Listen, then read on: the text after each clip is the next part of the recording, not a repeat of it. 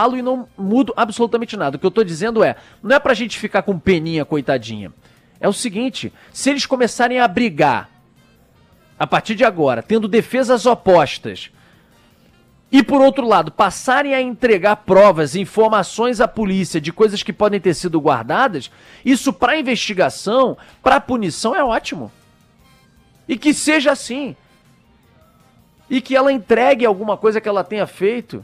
Então, ouvi-la de novo, delegado Henrique Damasceno, um excelente, brilhante profissional, junto com a brilhante Polícia Civil, que fez um trabalho minucioso nessa apuração, é muito bom. Não deixe isso de lado, não, delegado. Não descarte isso, não. A ouça de novo. Ela pode trazer informações relevantes pode cair em contradição, tudo certo, mas pode trazer informações extremamente relevantes, até provas contundentes para reforçar tudo que vocês estão fazendo. Não deixe isso para o juízo, para daqui a não sei quanto tempo, para só quando for, porque aí baixa muito a temperatura. Ela tá mudando agora, ela quer entregar, vamos aproveitar o momento, pelo menos isso.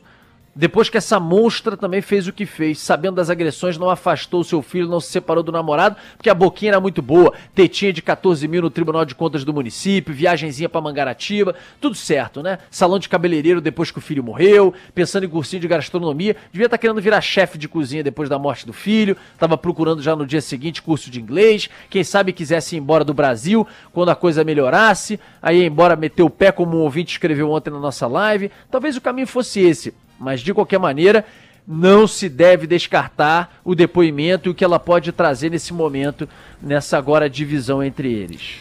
E